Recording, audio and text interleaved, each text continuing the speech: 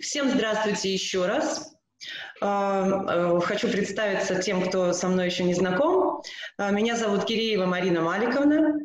А, я э, в настоящее время являюсь президентом Ассоциации дирижеров детских и молодежных хоров Северо-Запада Российской Федерации. И в начале нашего вебинара мне бы хотелось бы рассказать несколько слов о нашей ассоциации для тех, кто еще о ней не знает – и я надеюсь, что для тех, кто знает, для членов нашей ассоциации, я вижу их здесь, среди участников, это здорово и очень приятно. Э, я, я надеюсь, что эти, э, то, что я скажу, тоже будет интересно, как обстоят наши дела в данный момент, э, что мы делаем, чем занимаемся, на какой стадии, что происходит. Значит, наша ассоциация, ассоциация дирижеров детских и молодежных хоров Северо-Запада России – была создана Ириной Вячеславной Рогановой, которая, к сожалению, несколько э, лет назад скоропостижно скончалась. Но мы продолжаем это ее дело. Ассоциация живет, функционирует и развивается дальше. Эм, Санкт-Петербург и Ленинградская область – это то, где мы базируемся, это наша основа, ядро ассоциации – но ассоциация с удовольствием принимает участников из разных, из всех городов России, из, э, из других стран в том числе. Поэтому мы будем очень рады новым именам, новым участникам, нашим э, новым друзьям. Мы очень любим э, вообще наши мероприятия, и поэтому мне приятно о них рассказывать. И вот сейчас я скажу несколько слов, да, чем мы занимаемся. Вообще ассоциация изначально была создана для такой, для такого тандема тесной плодотворной работы э, содружества композиторов и хоровых коллективов. То есть своими мероприятиями мы пытаемся стимулировать, активизировать современных композиторов, чтобы они писали новую, качественную, хорошую хоровую музыку, для хоров всех составов, э, для детских хоров, для самых маленьких, для вокальных ансамблей, для смешанных хоров, для любителей, для всех. Э, и наши мероприятия направлены на это. Мы тесно очень работаем с композиторами. Э, ну, а далее, конечно, это коллективы, уже непосредственно исполнители.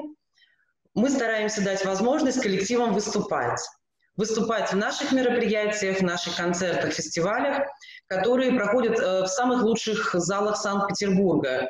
Это залы э, Государственной академической капеллы имени Михаила Ивановича Глинки, концертный зал Мариинского театра и другие столь же прекрасные и значимые залы. Э, как раз сейчас у нас проходит конкурс композиторов «Хоровая лаборатория», композиторы уже прислали свои работы, в этом году их в районе 100. Эм, и э, жюри оценил работы, и 1 июня будут результаты, э, будут объявлены победители конкурса. Жюри конкурса довольно-таки серьезное. Это ведущие композиторы, хоровые композиторы Москвы и Санкт-Петербурга. Их имена, конечно, нам всем, коллегам, всем знакомы. Это Ефрем Иосифович Подгайц, Алексей Львович Ларин, эм, Игорь Станиславович Воробьев, Владимир Алексеевич Сапожников и э, Александр Петрович Логинов. Жюри очень профессиональное, очень строгое.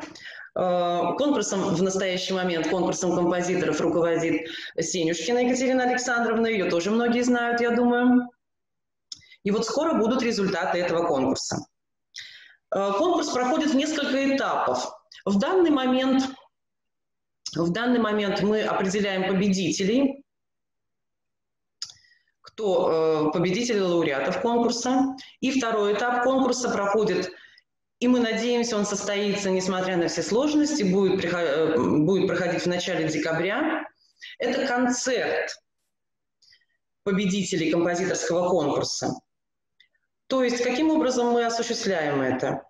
После того, как э, определены победители, композиторы, коллективы ассоциации могут по своему желанию, по своему выбору выбрать произведение для исполнения. И таким образом мы формируем программу концерта, который проходит в капелле. И таким образом на этом концерте встречаются композиторы, которые приезжают на награждение, вот на этот заключительный гала-концерт. Есть возможность пообщаться композитором и дирижером. Композиторы видят э, в реальности, для кого конкретно они пишут эту музыку, э, эти коллективы живьем, не абстрактно. И э, дирижеры также могут пообщаться с композиторами, то есть происходит такой, э, такое сотрудничество, такой творческий тандем. Э, участие в конкурсе, в, конкурсе композиторов могут участвовать абсолютно все, и участие в конкурсе бесплатное. Поэтому, конечно, мы очень рады новым именам и будем рады за распространение информации о нашем конкурсе. Значит, э, еще одно большое мероприятие, которое проводит наша ассоциация, это международный хоровой конкурс «Радуга». И Елена Донатовна Рабинович, с которой вы скоро познакомитесь, те, кто еще ее не знает, она как раз э, является руководителем этого конкурса. К сожалению, в этом году это наше большое несчастье, потому что конкурс проходит в конце марта. Все было готово, конкурс в этом году обещал быть просто грандиознейшим. Должны были приехать 50 коллективов из России, из разных э, уголков, из самых-самых дальних стран но по причине эпидемии и запрета массовых мероприятий конкурс в этом году не состоялся. Но мы очень надеемся, что конкурс э, состоится на будущий год, и поэтому будем очень рады видеть э, тех, кто не смог приехать в этом году, и новых участников. И конкурс также проходит в зале э, Государственной академической капеллы имени Глинки. Кроме этого, в течение года ассоциация организует э, фестивальные концерты. Э, традиционно это несколько концертов в декабре и в апреле. Они также проходят в зале капеллы. Э, на концерте исполняется современная музыка и не только. И коллективы ассоциации могут принимать участие в петь в нашем прекрасном зале. Это, то есть у любого коллектива фактически есть возможность петь на сцене капеллы. Ну и, конечно, ассоциация проводит обучающие мероприятия. Они про проходят э, довольно-таки регулярно. Э, обучающие семинары, курсы и, и другие мероприятия. Часть этих мероприятий бесплатная, часть за очень-очень доступные, доступные цены. И по, по окончанию Э, по прохождению этих курсов, да, мы выдаем удостоверение от Комитета по культуре Ленинградской области о прохождении курсов повышения квалификации. И в зависимости от часов 16 или 72 часа. И вот наше ближайшее мероприятие, которое в этом году состоится, это летняя школа. Летняя школа пройдет с 28 июня по 3 июля. Мы всегда проводим летнюю школу в эти даты. В этом году мы очень долго думали и сомневались и боялись, проводить ли и проводить ли в каком формате. Но приняли решение проводить, так как многие интересуются, пишут, спрашивают со всех концов страны и хотят принять участие. И мы тоже не хотим прерывать этот процесс, тоже хотим, чтобы летняя школа состоялась. И в этом году она тоже состоится. Ну, в этом году она состоится в режиме онлайн. Ну, однако, ну, как и все сейчас онлайн, но мы надеемся, что она пройдет неплохо. Эм, летняя школа будет для хормейстеров 72 часа и для композиторов тоже 72 часа. Для композиторов мы сейчас приглашаем ведущих европейских преподавателей, с которыми не у всех есть возможность, далеко не у всех, не у всех нас, да, встретиться э, в э, реальной жизни. Поэтому мы хотим использовать этот формат онлайн для того, чтобы эти встречи, эти встречи состоялись. Для композиторов это, для композиторов это также уникальная возможность. Э, ведущие композиторы мира будут проводить лекции и индивидуальные уроки. Э, Мия Макаров из Финляндии готова, Алексей Львович Ларин из Москвы. И ждем ответа, еще утверждения, пока не буду озвучивать имена, от других преподавателей. Э, в летней школе могут принять участие не обязательно члены ассоциации, но обычно летняя школа – это уже платное мероприятие. Для членов ассоциации предусмотрена всегда льготная цена, которая значительно отличается. Ну вот это в основных, в двух словах о наших мероприятиях. Мы мы дадим все ссылки на все мероприятия, мы напишем их в чате и, возможно, эм, возможно вышлем по электронной почте.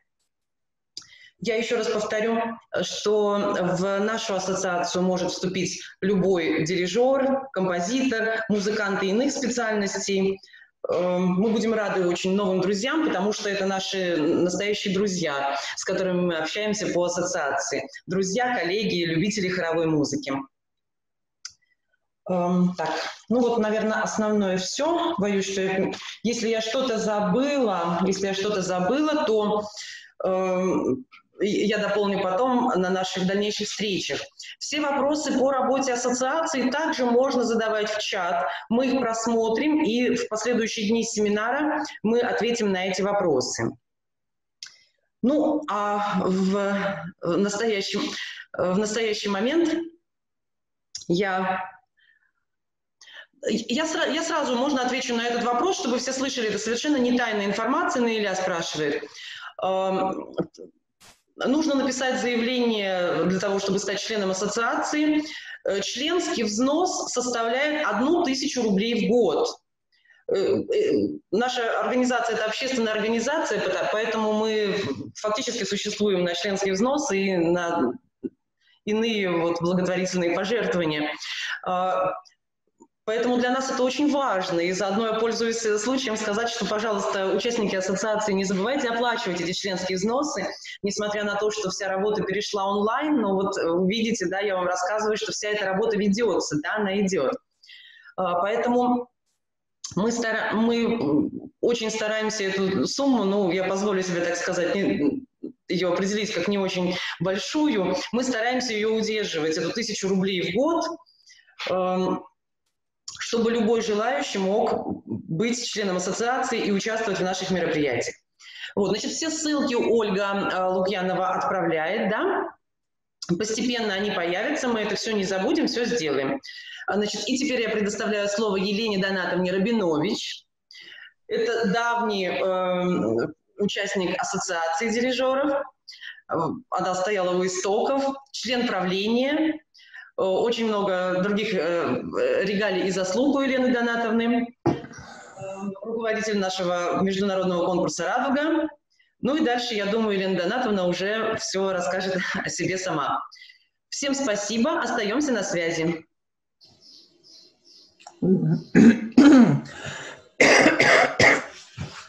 Добрый день, дорогие друзья. Я уже могу говорить, Вер? Да, вас слышно. Нас слышно, но не видно еще, да, пока? Видно вас. Почему-то мелькает у меня, то видно, то не видно. А мне саму себя не видно. А, ну, вы можете нажать вид докладчика и закрепить свое видео, как мы с вами репетировали. Чтобы закрепить видео, нажмите на три точечки э, рядом со своим изображением и нажмите «Отслеживать видео». Так, угу. сейчас вид докладчика. Да. А мелькает, потому что мы сейчас разговариваем вдвоем. Угу, Календарь у нас останется одна, будет только Вера. Все, вижу сама себя.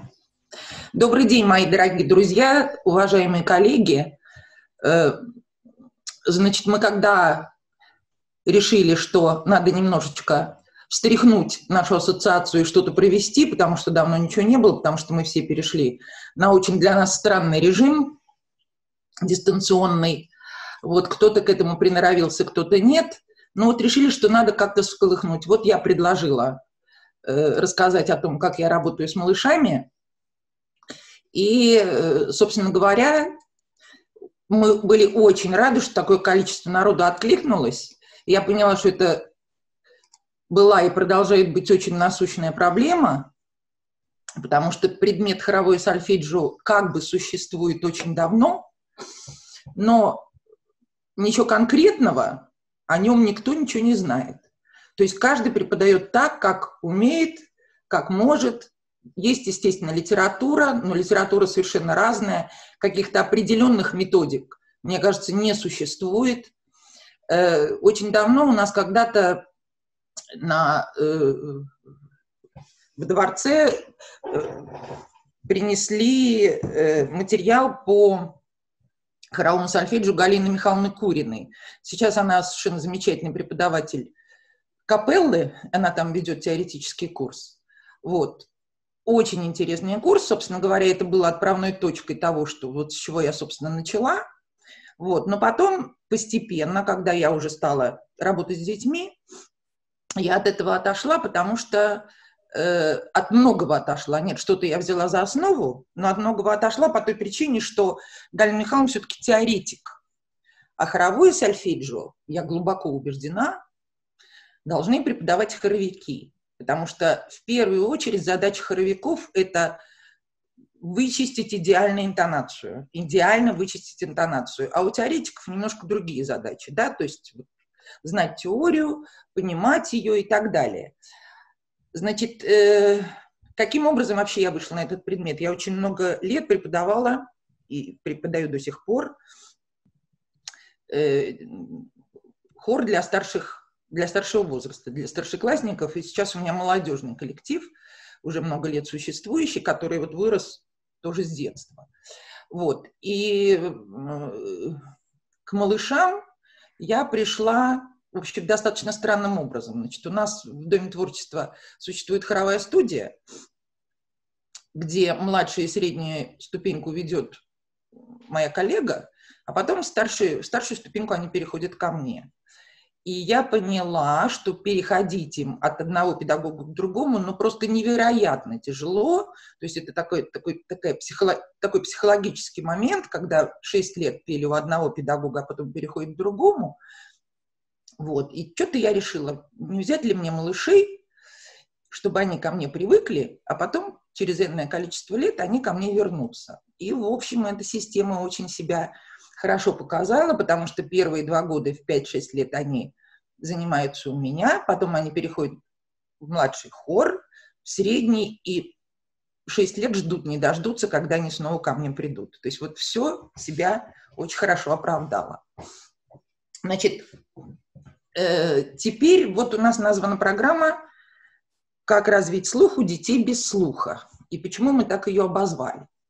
Вообще, на самом деле, значит, дома творчества, в отличие от школ искусств, это учреждения, где в основном занимаются в первую очередь воспитательным процессом, да, и если в школе искусств действительно приходят хорошие подготовленные дети, и сейчас там идет такой хороший набор, и отбирают только самых-самых-самых лучших, то мы берем всех, всех желающих.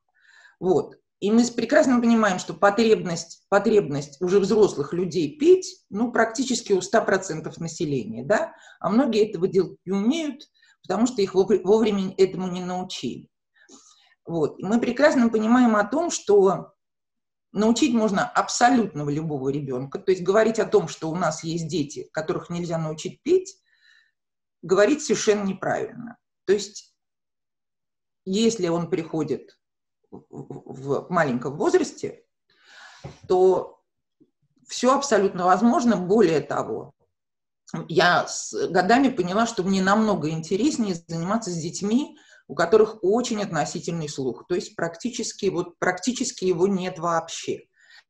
Э, вы обратили внимание на то, что у нас есть, наверное, сами можете и из своей практики сказать, что дети, которые слухастые, они как бы хуже соображают. Ну зачем им вообще думать, если они и так поют?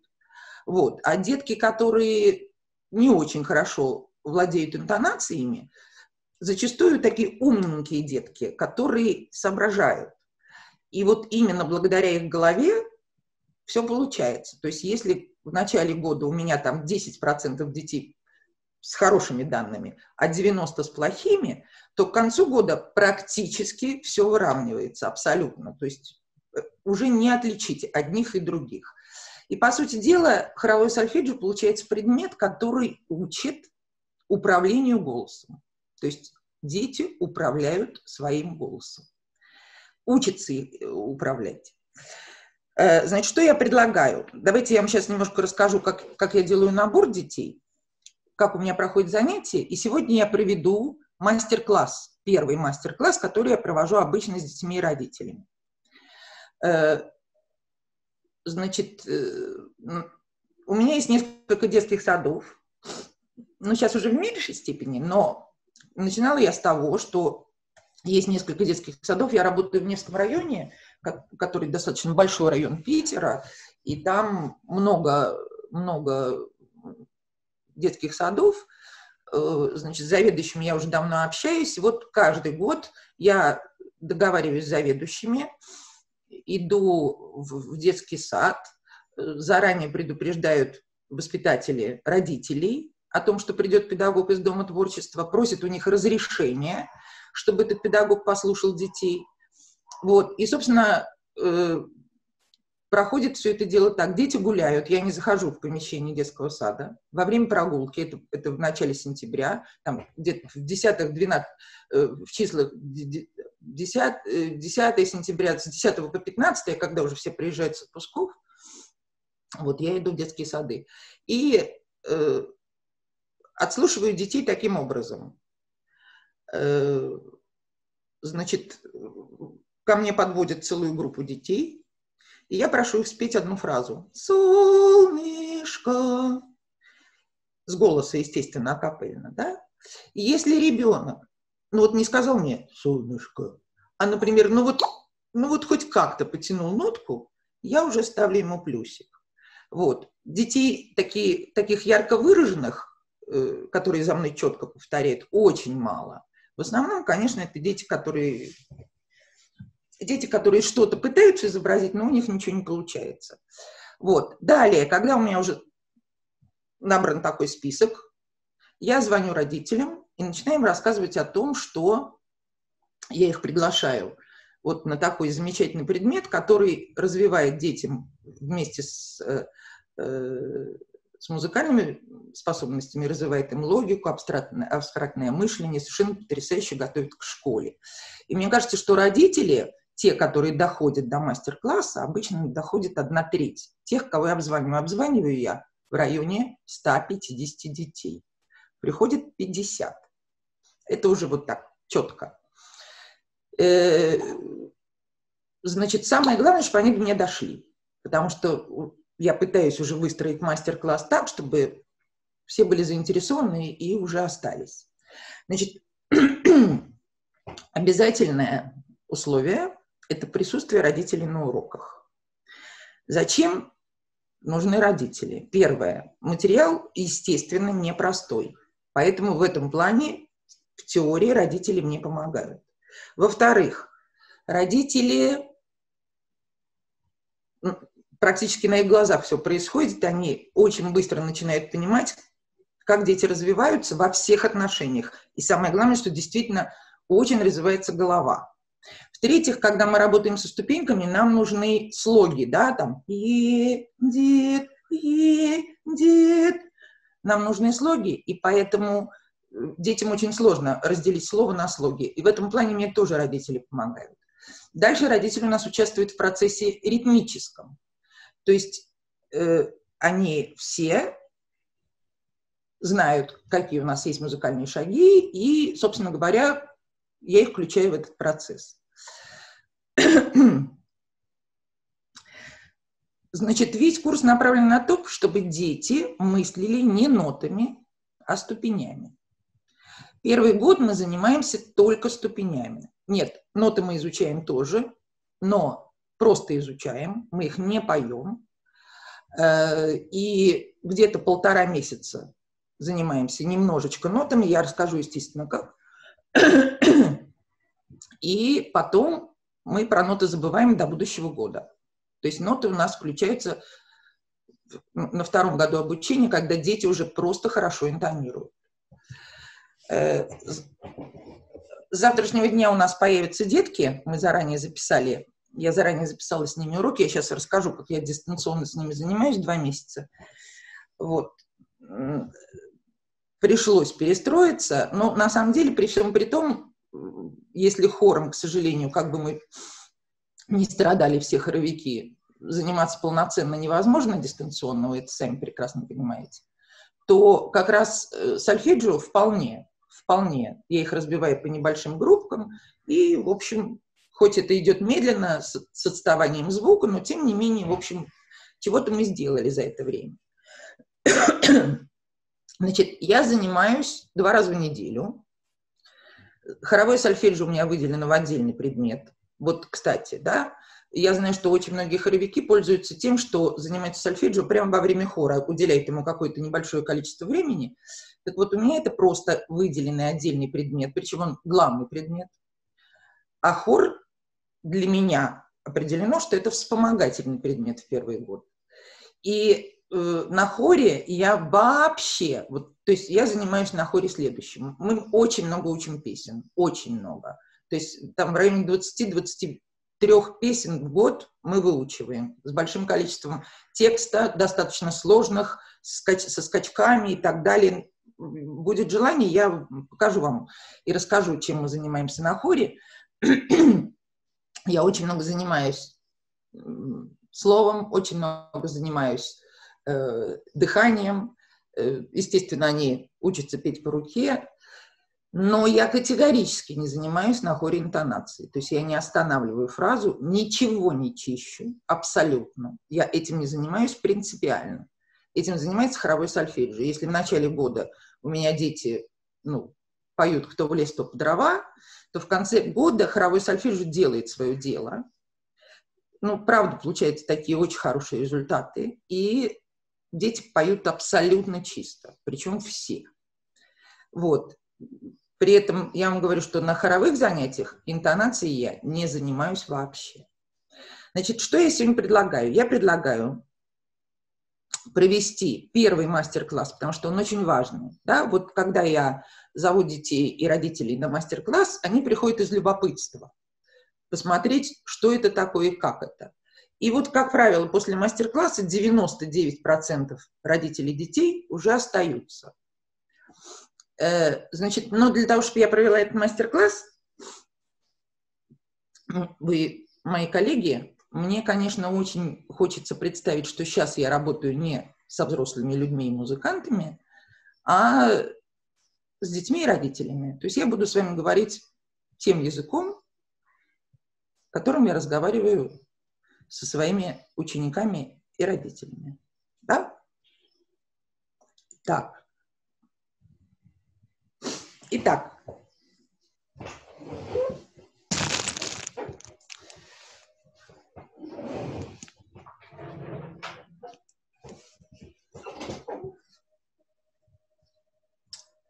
Здравствуйте, дорогие ребята! Вы любите слушать сказки? Любим, конечно, да? Итак, мы с вами сейчас попадаем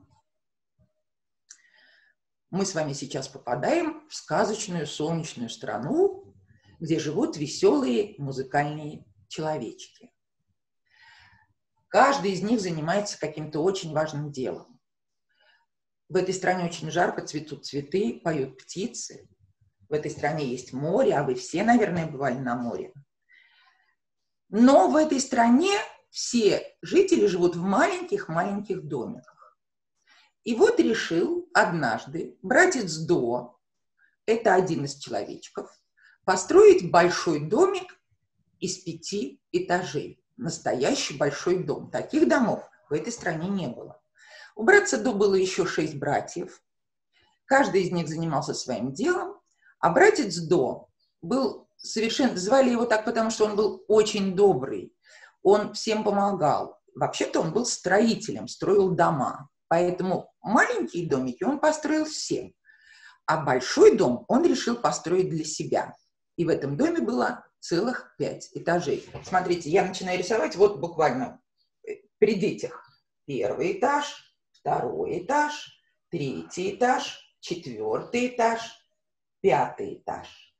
У домика крыша, рисует домик как положено. Приходит братцу до братец Ми. Знаете, кем он был? Он был очень важной персоной. Он был министром. И вот братец Ми жил в небольшом домике. Когда он узнал, что братец До построил себе дом из пяти этажей, он, конечно, пришел первый и сказал, братец До, я такой важный, я занимаю ответственный пост, а живу почему-то в очень плохих условиях. Поселишь меня в своем домике? Конечно, сказал ему братец До, выбирай любой этаж.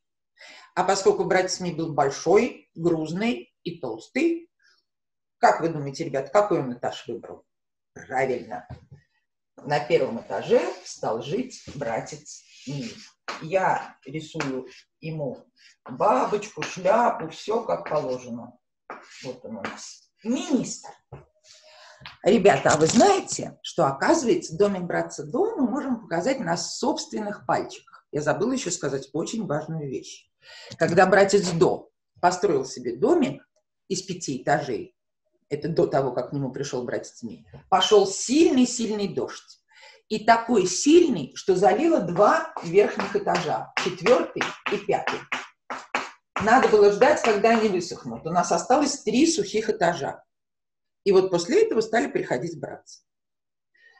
Когда братец Ми уже поселился в своем домике, мы узнаем, что домик братца До можно построить на своих собственных пальчиках. Мы показываем пальцы и начинаем считать. Первый этаж, второй этаж, третий этаж, четвертый этаж, пятый этаж. Эти два этажа у нас пока мокрые, и мы ими не пользуемся, но зато три этажа можно занимать. Итак, показываем кто пришел и куда поселился братец. Вот он, братец Мид, поселился на первый этаж.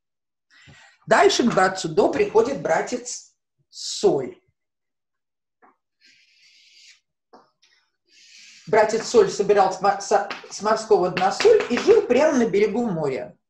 Конечно, ему там было не очень удобно, поэтому, когда он пришел к братцу До, братец До ему предложил следующий этаж. Второй. Пока, показываем сразу же, тут же, да, показываем на нашем пальчичном домике. На втором этаже живет братец Соль. Я несколько раз говорю, а на первом кто живет? Правильно, братец Ми, министр. А на втором братец Соль, благодаря которому мы солим свою пищу. Дальше. Приходит к братцу До, вернее, не приходит, а приезжает братец, который работал таксистом. Он всех возил. И вот этот братец, звали его братец Си, и, конечно, в машине ему было жить очень неудобно, поэтому он примчался на машине и успел таки занять последний сухой этаж. Поселился он на третьем этаже.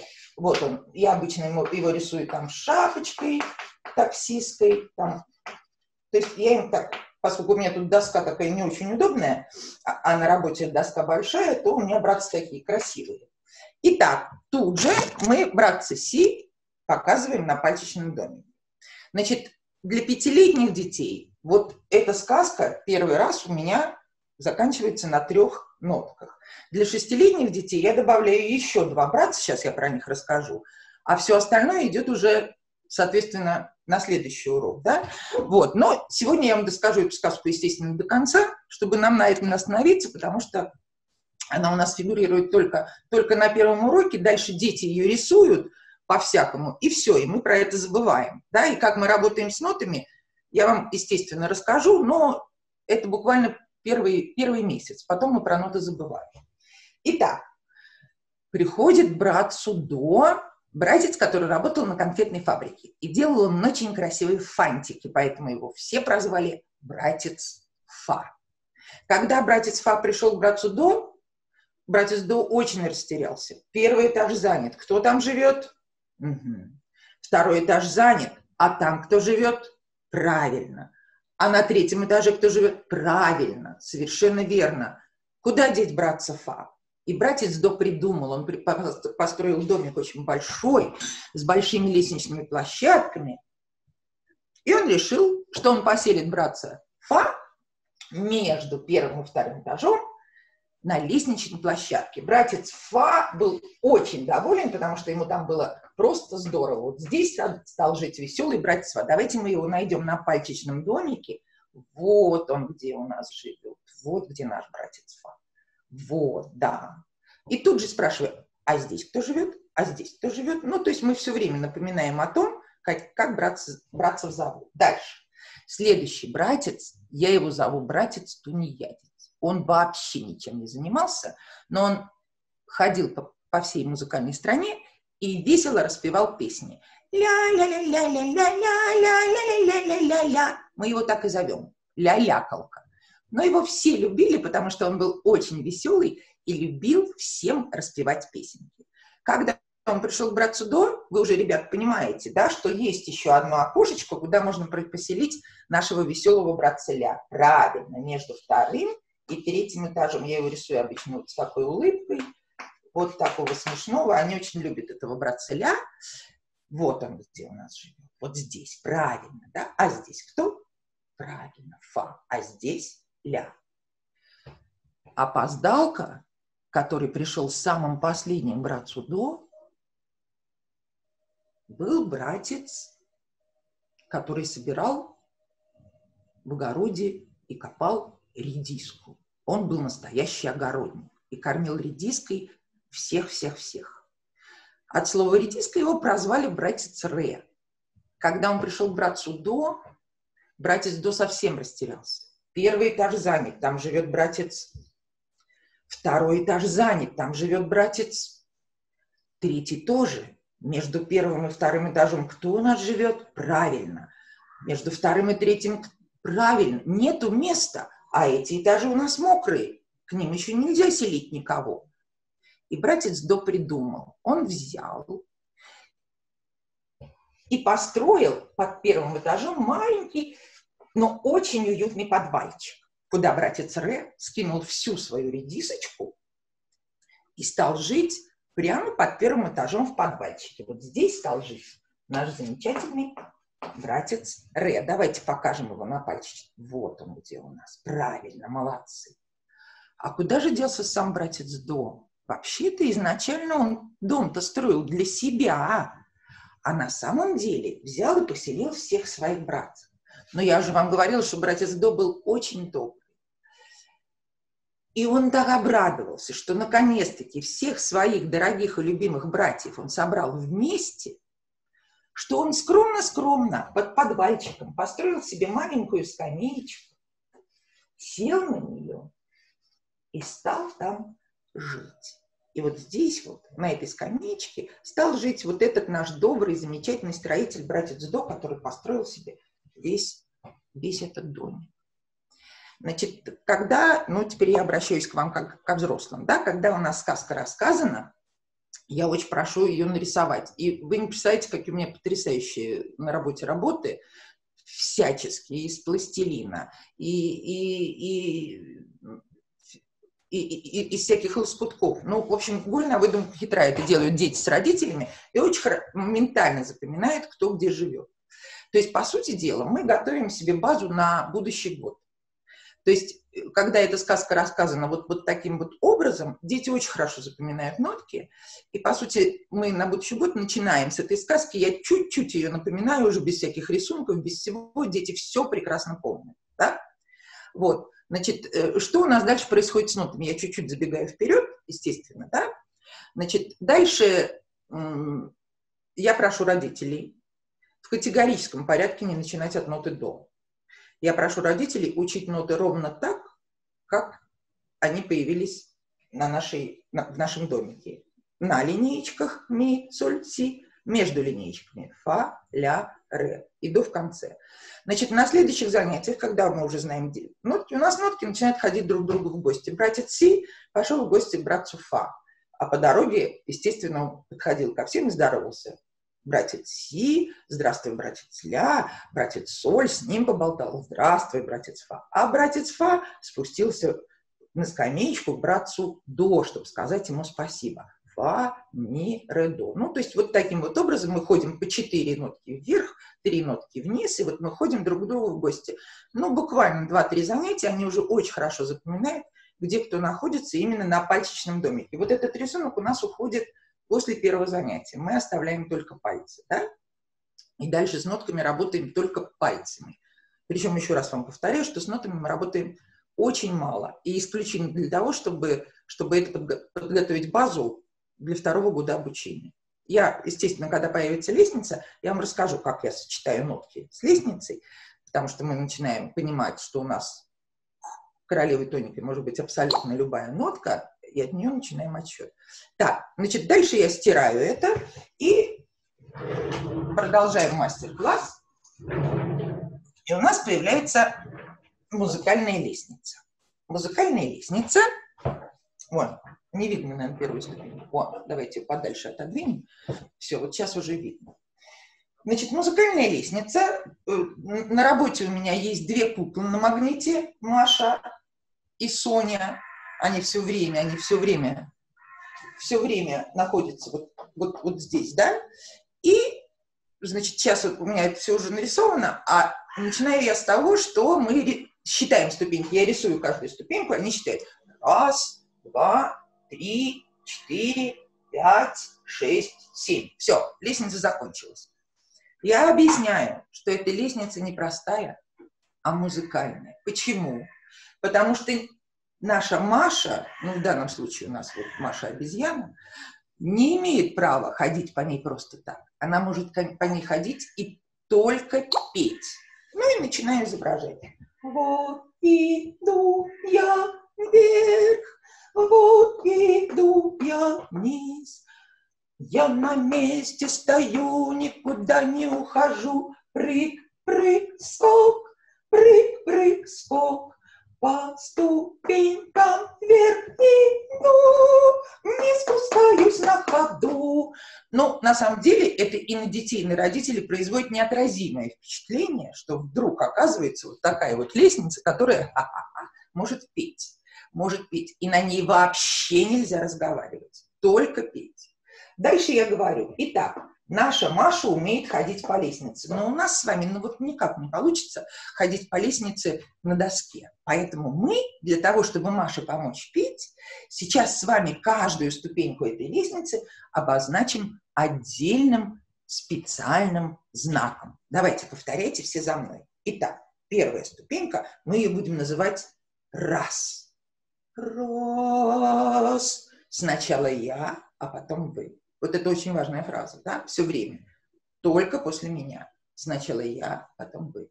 Раз. Молодцы, умнички. Вот это будет вторая ступенечка. Родители работают вместе с, с ребятами и запоминают, как выглядит ступенечка. Два. Умницы. Третья ступенечка у нас похожа на потолок. Три умницы. Четвертая ступенечка – это стрелочка вниз. Четыре. Пятая ступенечка – это стена. Пять. Для пятилетних детей на первом занятии, на мастер-классе пятая ступенька заканчивается. Дальше идет уже на следующем занятии. Да? Им достаточно запоминать вот пять ступеней на первом занятии. Для старших детей, шестилеточек, я даю полную лестницу – Шесть, это колокольчик, вот такой вот свободный. Семь, стрелочка вверх. Семь. Давайте еще раз. Потом, какая ступенечка? А это какая ступенечка? А, ой, какие молодцы, все запомнили. Умнички. Третья. Значит, опять-таки, забегая вперед, когда мы уже про лестницу знаем все, мы разбираем с ребятами, почему именно такие знаки, а не какие другие раз кулак, три стена, э, потолок, пять стена. То есть крепкие, крепкие ступеньки, да.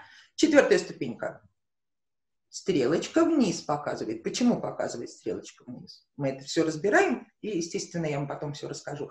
Седьмая ступенька. Стрелочка вверх. Почему стрелочка вверх? Да? И шестая тоже. Вот такая вот. Вот такая вот ступенечка. Угу. Так. Значит, про ступенечки мы рассказали, показали. Поем песенку. Давайте споем песенку, которая у нас становится самая любимая. Ну, вы ее, конечно, все знаете, но ее дети действительно обожают. Повторяйте за мной.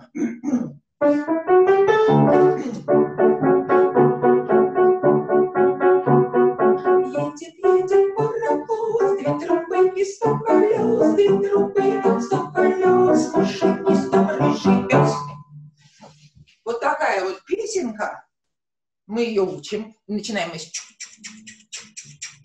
а потом уже поем. Конечно, первый раз не поем, а орем, как резаные, но это не важно, да?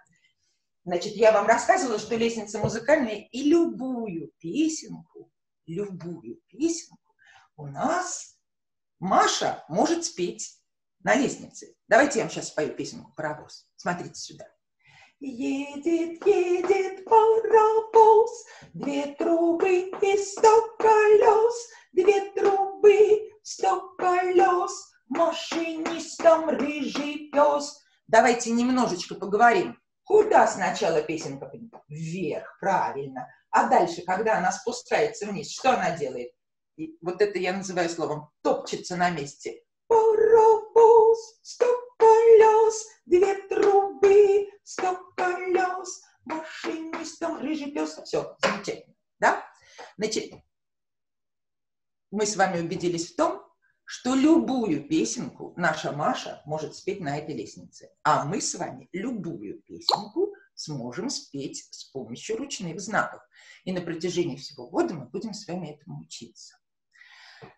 Давайте чуть-чуть еще поговорим. Ну вот сейчас уже, да, у нас они подустали. Я с ними немножко играю. Я вам потом, если хотите, тоже покажу игры, которые их отвлекают, не имеющие отношения совершенно к музыке но, во всяком случае, они сосредотачивают их внимание, отвлекают их, потому что, естественно, с маленькими детьми нужно все время менять вид деятельности, постоянно, там, 5 минут, 10 максимум минут какой-то, там, занимаемся ступеньками, дальше начинаем играть, дальше чего-то поем, дальше занимаемся ритмом и так далее. То есть все время, все время что-то меняем, потому что иначе они, конечно, я не укладываюсь, на самом деле, э, в 45 минут, ну, в силу того, что все время что-то меняется, все получается здорово. Значит, э, дальше. Э, дальше на этом же мастер-классе я даю последнее задание. Сейчас я вам пою песенку. Скажите, пожалуйста, что из нее исчезло? Едет, едет паровоз, две трубы и сто колес, две трубы, сто колес, машинистом рыжий пес. Очень смешные ответы. Исчезла песенка, исчезла, исчезла музыка. Хорошо. Ну, нам надо, я все время заставляю найти нужное слово. Да, вот все время э, как бы уроки построены на том, что они как бы сами делают выводы и находят нужное слово. Мы выясняем в конечном итоге после долгих э, обсуждений, что исчезла мелодия. У песенки исчезла мелодия. Что песенка – это мелодия, которая придумывается. Дальше, хорошо, мелодия сейчас появится, но что-то исчезнет. Едет, едет паровоз, две трубы и сто колес, две трубы, сто колес, машинистом рыжий пес. Они не понимают. Они не понимают. Вот первый какой-то шок. Потом кто-то говорит, она стала очень быстрая.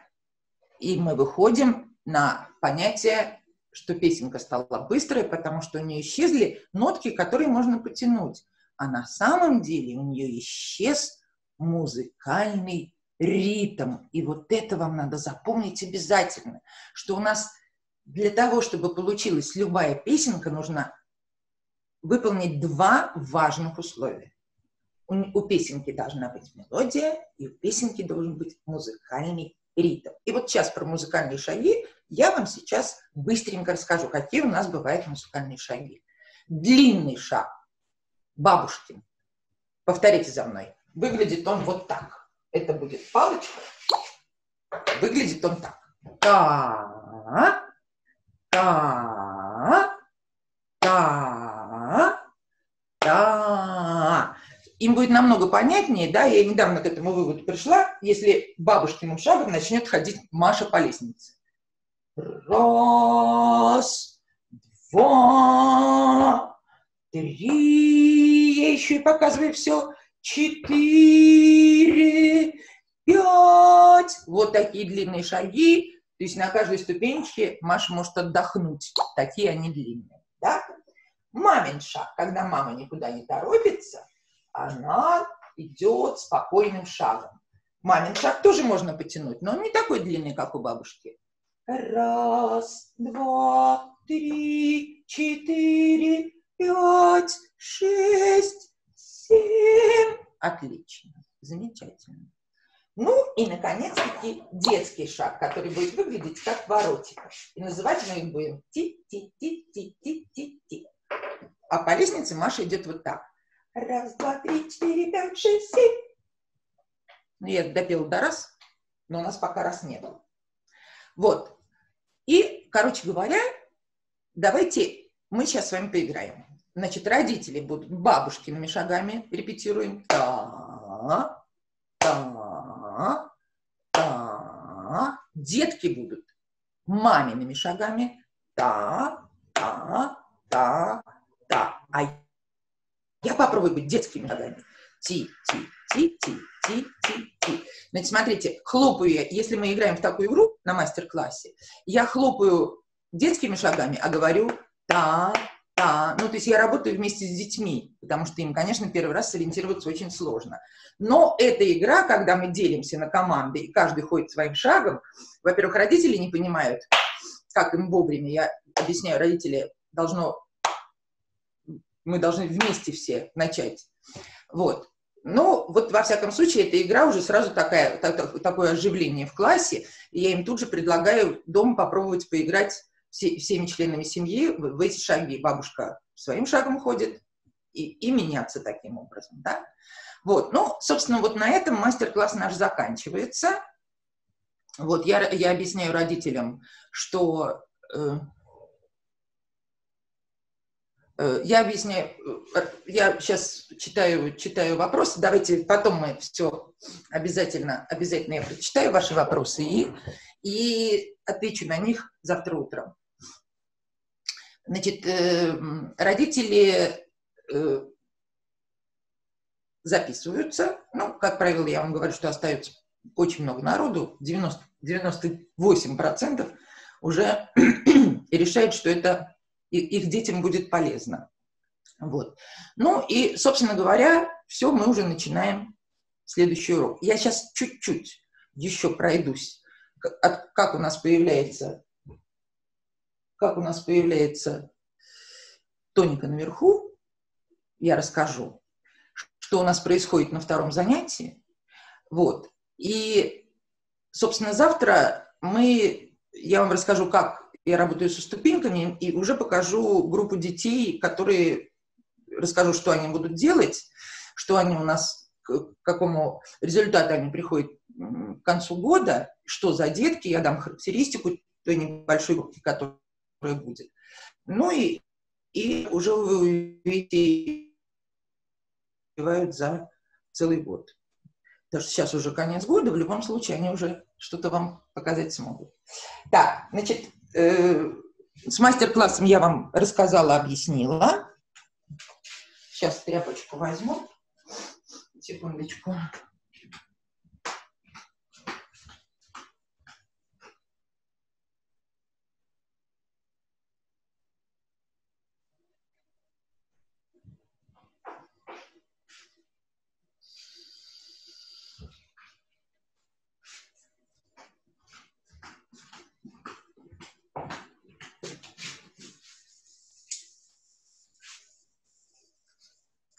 Значит, я предлагаю сделать э, следующие три дня таким образом.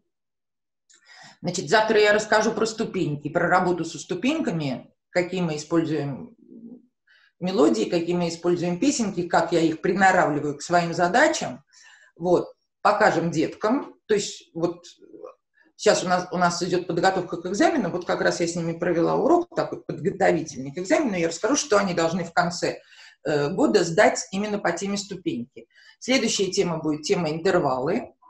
Это будет послезавтра, и тоже с группой детей, которые вам покажут, что они делают. И дальше последний день, это будет третий день, это будут аккорды и ритм, как я работаю с ритмом, потому что у меня тоже есть какие-то свои, может быть, интересные наработки. Вот. А вот все, что касается четвертого дня, у нас вот с Мариной возникло желание сделать такой круглый стол – то есть потому что наверняка те люди, которые те люди, которые сейчас меня слушают, это люди, которые занимаются, которых волнует эта проблема. И вполне вероятно, вполне вероятно, у них четко есть свои наработки, потому что я понимаю прекрасно, что то, что я вам сейчас предлагаю, это моя выстроенная каким-то образом за много лет система, и это не значит, что это панацея, надо работать именно так. Наверняка есть какие-то э, интересные работы, интересные наработки у кого-то из вас. И будет здорово, если мы попробуем вот в четвертый день как бы поделиться своими, своими ну, с одной стороны, впечатлениями, с другой стороны, какими-то какими новыми штучками, которые мы с удовольствием используем в своей собственной работе. Да, Марин? Попробуем этот круглый стол сделать? Угу. Так, итак, давайте, сейчас я уже заканчиваю. Значит, следующий урок. Ну, то есть после мастер-класса у нас идет продолжение. Сказку они знают, мы обязательно, то есть вы понимаете, да, что урок у меня делится на то, что сначала мы немножечко занимаемся нотками, потом мы немножечко занимаемся ступеньками, потом мы занимаемся всякими играми, и в конце ритмом обязательно. Э, ритм – это именно уже последняя часть, потому что он, они его очень любят, они на нем отдыхают, и это их любимое времяпрепровождение, поэтому все все, все, что им легче, и все, где не надо так думать и отвечать, идет на финал. Так, итак, значит, я им рассказываю. Сейчас я вам расскажу, что они узнают у меня на втором занятии. Итак, значит, у нас есть лестница из семи ступенек. Маша опять по ней прошлась. Дальше я подхожу к инструменту и говорю, итак, мы с вами попали на большую музыкальную лестницу. Ну, такую большую, большую, прибольшую, да? И идем по ней. Идем по этой лестнице. Идем раз, два, три, четыре, пять, шесть, семь. Закончился музыкальный этаж. Раз, два, три, четыре, пять, шесть, семь. Закончился следующий музыкальный этаж. Раз, два, три, четыре, пять, шесть, семь. Еще один закончился и еще один закончился. А теперь я вам, ребята, задаю очень сложный вопрос. Скажите мне, пожалуйста, скажите мне, пожалуйста, сколько ступенек на каждом музыкальном этаже? Ну, они с легкостью говорят, что семь. Но самый сложный вопрос будет впереди. Это еще не самый сложный вопрос. Это просто вопрос, да? Мы поняли, что на каждом музыкальном этаже семь ступенек. Итак, я беру мелок другого цвета. Вот сейчас будет очень сложный вопрос. И рисую еще одну ступенечку. Почему-то другого цвета. Кто сейчас сообразит, подумает как следует, какую циферку мне надо поставить на этой ступенечке, я даю 3 балла. Я забыла вам сказать, что вот забыла напрочь и зря это сделала, значит, у меня работает система поощрений. Они зарабатывают баллы. И в конце занятий они у меня получают конфеты. Фрутис, вот, вот, вот эти вот а, в оберточках конфетки, значит, если они заработали больше 5 баллов, 5 баллов, то очков, то они получают там по 3 конфетки. Если меньше, то по одной. Поэтому это, конечно, такой мощный стимул работать, чтобы, чтобы в конце получить призы. Это правда вот очень важный момент, который я очень рекомендую ввести, потому что, потому что это вот правда на них очень очень хорошо действует. Иногда я даже понимаю, что они не заниматься приходят, приходят за конфетами. Но неважно, знания они все равно получают. Вот, значит, итак, я спрашиваю, кто живет на этой ступеньке. И мы очень долго думаем, 8, нет, на каждом этаже 7 ступенек. Но мне важно, чтобы в конечном итоге кто-то сообразил, что это первая ступенька нового музыкального этажа. Ну и они, конечно, делают такой вывод сам. Кто-то один умный, я говорю, какой ты умница, какой молодец. А дальше я рисую ступеньку, они уже понимают, что это вторая, и понятно, да?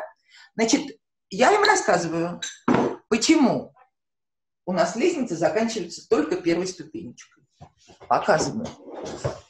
Говорю, давайте, о, что-то я. Угу. Рассказываю, почему мы не залезаем на второй этаж.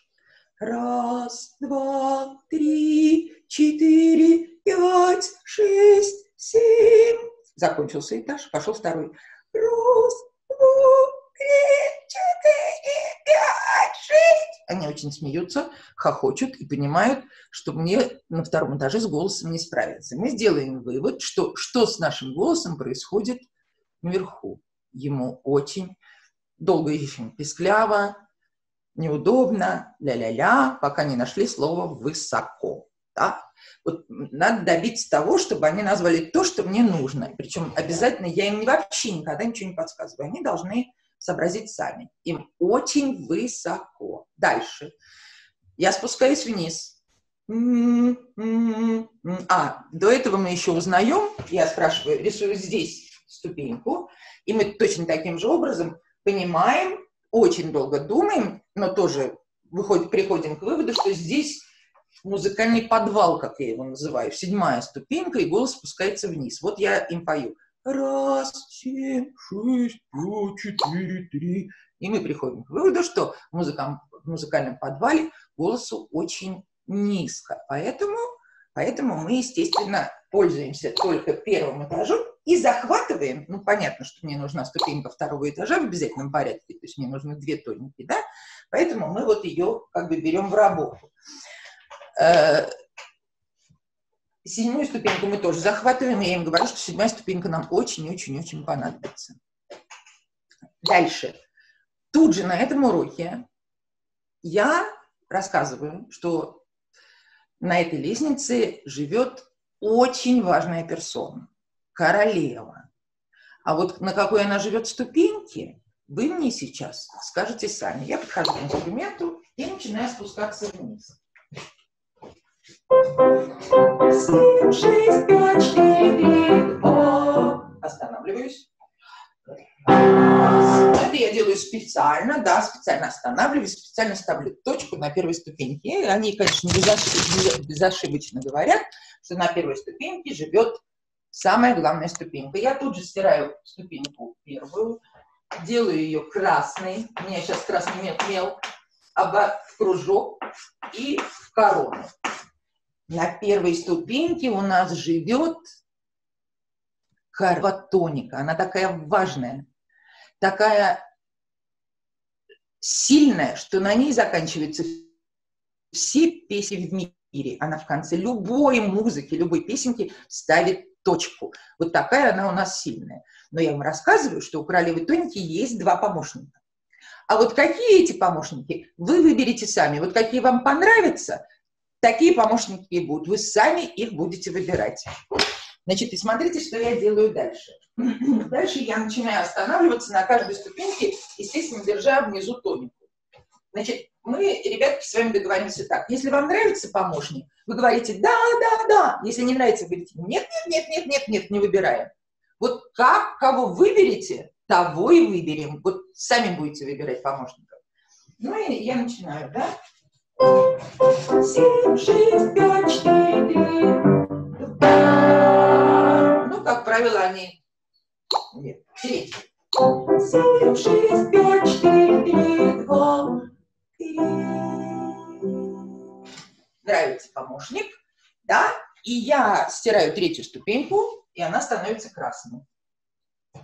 Она становится красной. Это первый помощник. Значит, дальше я им играю четвертую, шестую, седьмую. Пятую оставляю на потом, делая вид, что я не забываю. Ну, то есть выглядит это так.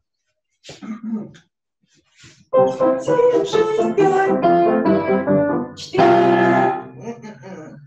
семь, шесть, пять, четыре, три, два, шесть. Фу-фу-фу-фу. Фу-фу-фу-фу. Ой, а что-то я забыл какую-то ступеньку. Они кричат пятую. Я говорю, ну давайте попробуем пятую. Семь, шесть, пять, четыре, три, два, пять. Берем, берем. Ну, на самом деле, получается такая игра, им безумно нравится, что они сами все это выбрали. Вот. И, и, да, и вот это правда превращается вот тоническое трезвучие у нас превращается в такую игру, которую мы выбрали сами. Сами. Я ничего не подсказывала. Все делали сами. Да? Вот. И, в принципе, ну, когда я вам буду дальше рассказывать, вы поймете, что я пытаюсь все на этом строить. Я пытаюсь все время заставлять думать и делать выводы.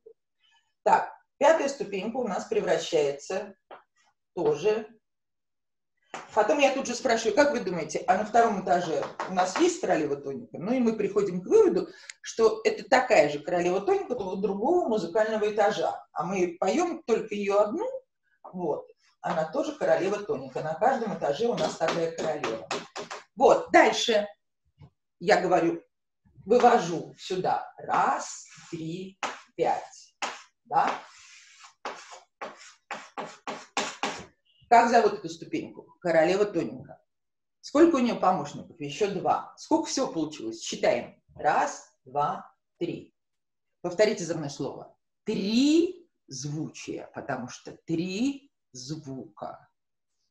Три звучия. А кто из них самый главный? Королева тоненька. Так вот, названо это трезвучие в честь королевы тоники тоническое трезвучие. Тоническое, повторяем за мной, тоническое трезвучие. То есть очень все хорошо запоминается, да, потому что все, мы уже ее обозвали королевой, мы уже поняли, что это три звука, и слово трезвучие вылезает само собой, а названо в честь вот этой королевы, поэтому оно тоническое. Они быстро очень это запоминают.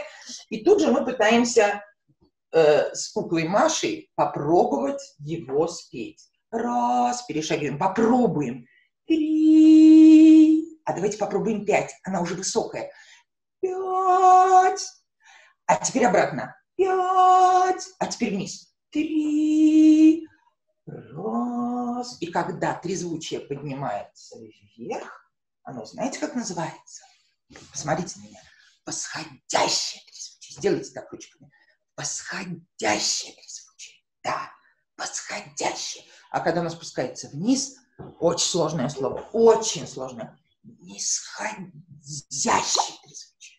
Нисходящее. А давайте его покажем. Мы даже не поем, а показываем. Пять, да. Ну-ка, найдите мне второго министра. Правильно. А найдите мне королеву Тонику. Правильно. Мы пока, не, конечно, не очень много поем, а в основном показываем, да, нам ручки надо приучить к тому, что они работают. Значит, я думаю, что на сегодня достаточно. Да, вот смотрите, за два урока они у меня э, знают, что у нас существует музыкальная лестница, что на этой лестнице живет королева Тоника, и что королеве Тонике помогает два помощника, и что все вместе они составляют тоническое трезвучие. То есть за два урока мы уже знаем, что такое тоника и тоническое трезвучие. Мы уже знаем, что такое вверх – это восходящее движение – Вниз – это нисходящее движение. Мы уже знаем о том, что для того, чтобы получилась песенка, нам нужно два условия. Я это все время повторяю на каждом уроке, там, чтобы, чтобы им каким-то образом это напомнить. Нам нужна мелодия, нам нужен музыкальный ритм.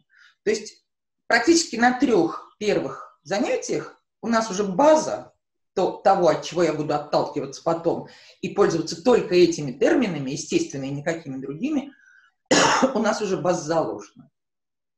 И при этом дети очень хорошо во всем разбираются. Очень хорошо. Ну что, я думаю, хватит на сегодня. Да? Mm-hmm. Так, если есть вопросы, давайте вы задавайте. Действительно, да, мы после э, семинара Сейчас вопросы задают все в чате. В Мы чате, вы, да, задавайте вопросы и, и, вы сможете... с, с предложениями, со всеми, вот все.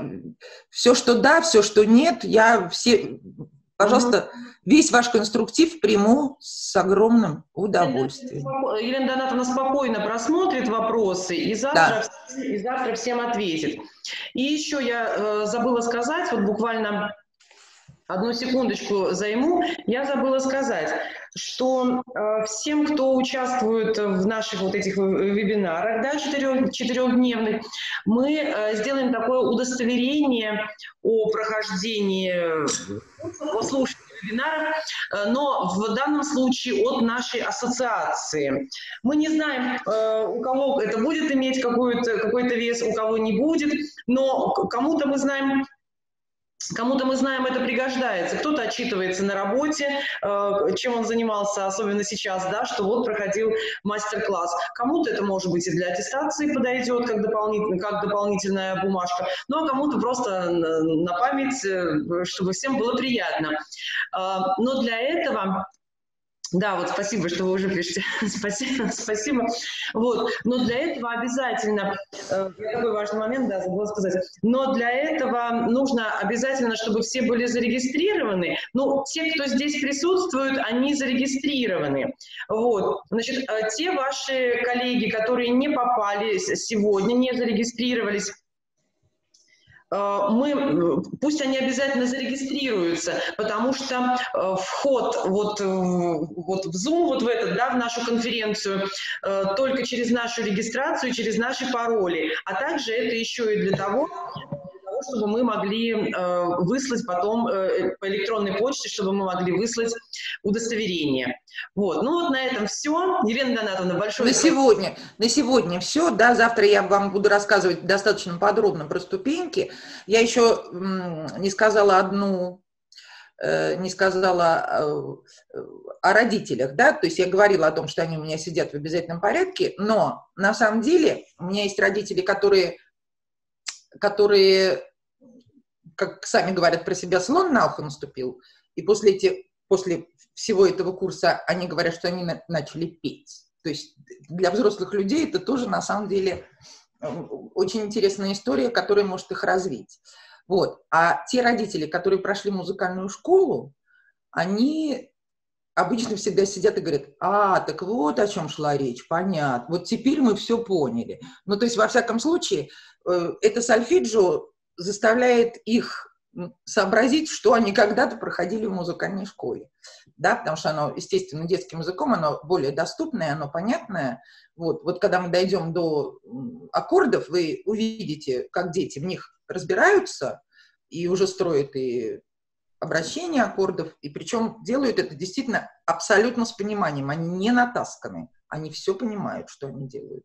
И это очень важный момент, чтобы конечно, мы пели, естественно, больше всего э, работает практика. Кстати, это я должна вам сказать еще, что у нас лестница работает полгода. Дальше уходит лестница, уходит Маша. Вот. И все, дети уже работают ступеньками самостоятельно. Ну, это будет завтра, послезавтра. Все, спасибо большое.